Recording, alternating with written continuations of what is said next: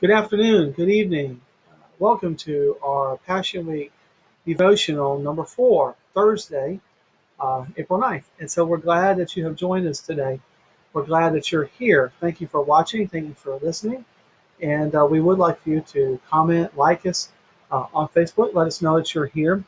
For those who miss it, we do put our devotionals on our YouTube channel, uh, First Baptist Church Harbor Oaks. And so if you happen to miss us today, um, and you didn't catch the live video, you can always go back and watch us later on YouTube on our channel.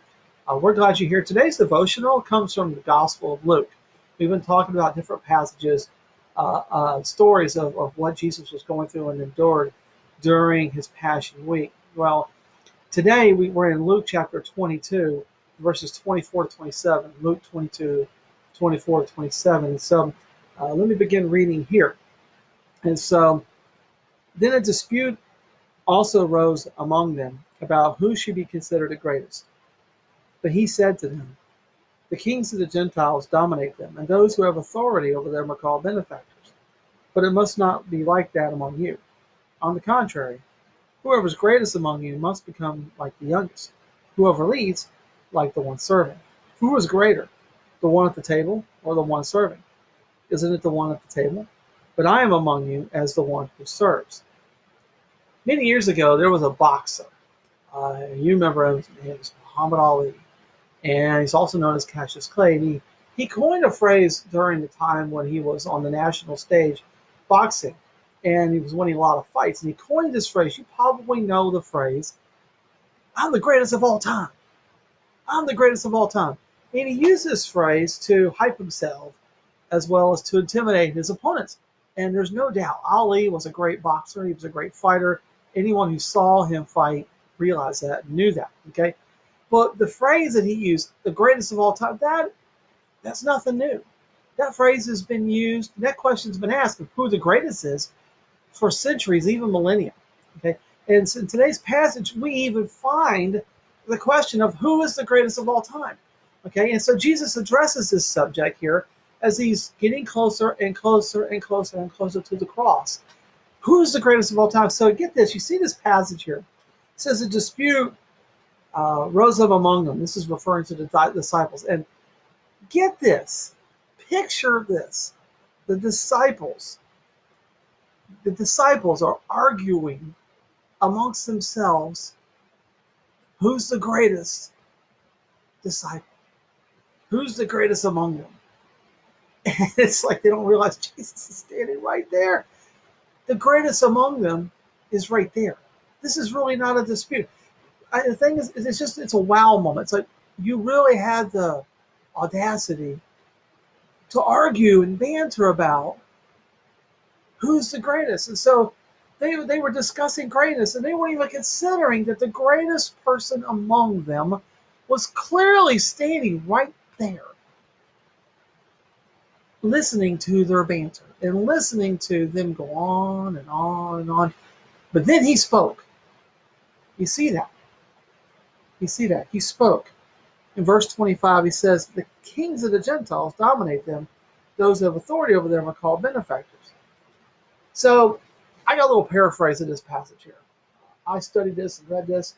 This is my paraphrase. So, you know, I get here it is my paraphrase is basically Jesus is telling, hey guys, uh, don't you know that the kings of the Gentiles use domination to throw their weight around?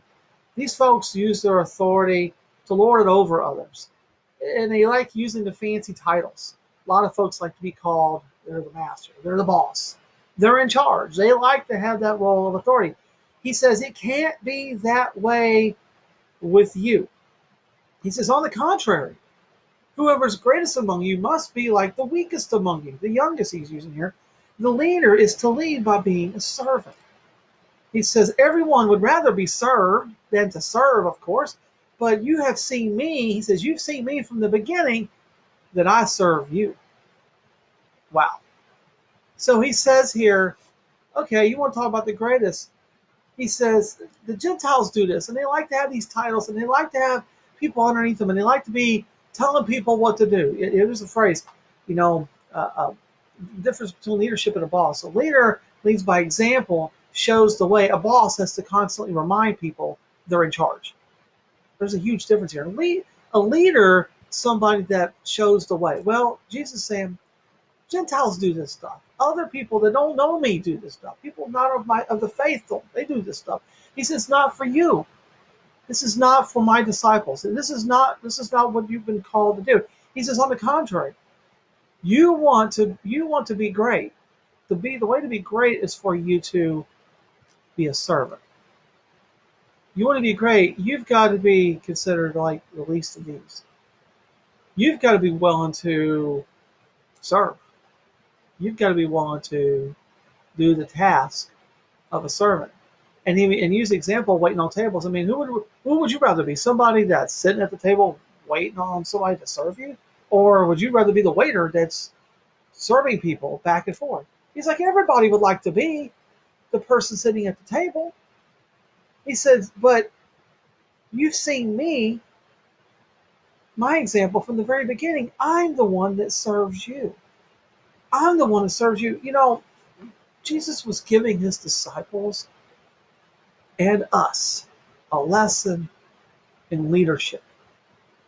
A lesson in leadership. Many can argue about who the greatest is.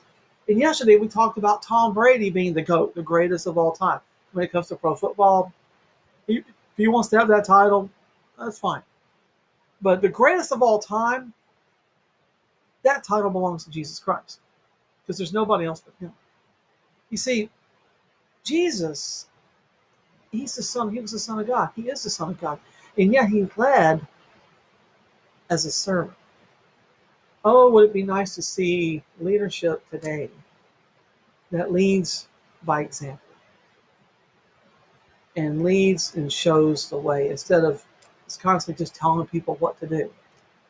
A leader should never ask somebody to do something they wouldn't do themselves. And, and then you see this passage here during Passion Week we find them having the Lord's Supper, and what do we find Jesus doing right after that?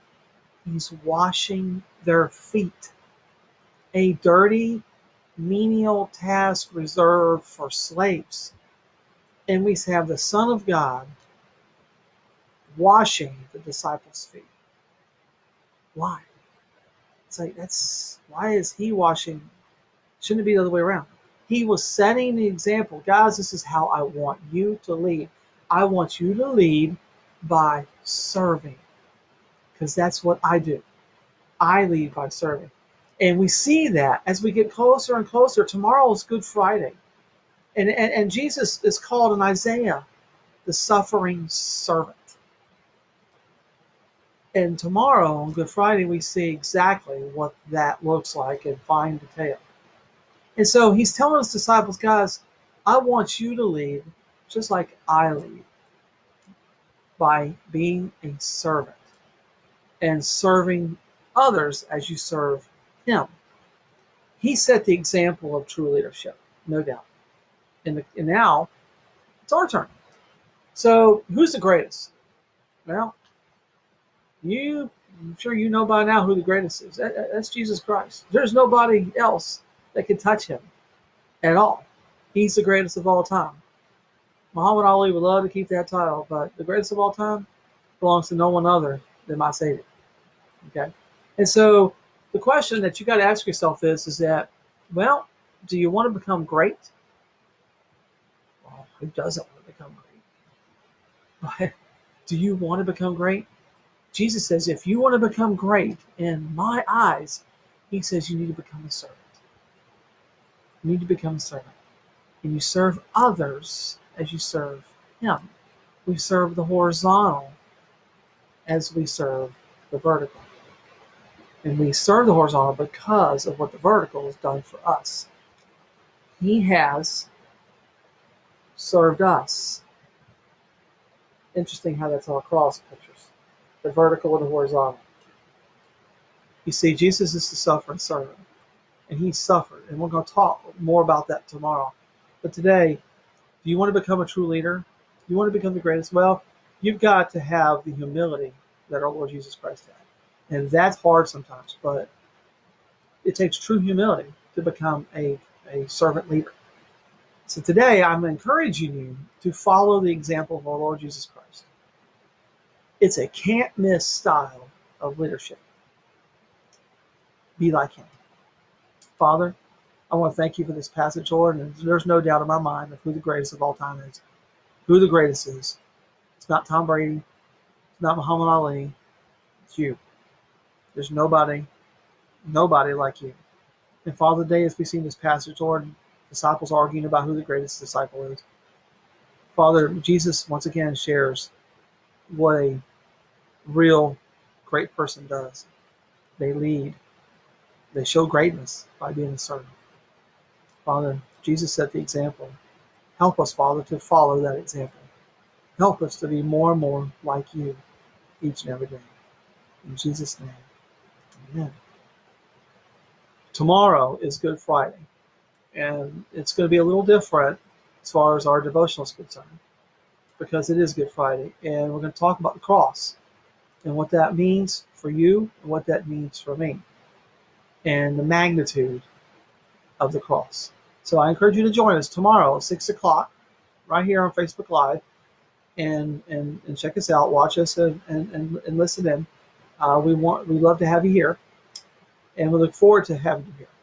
If you got any questions, feel free to leave us a comment, leave us a message. We would be glad to get back with you. Uh, once again, we will see you tomorrow at 6 o'clock on Good Friday. Have a blessed day. And remember, Jesus loves you.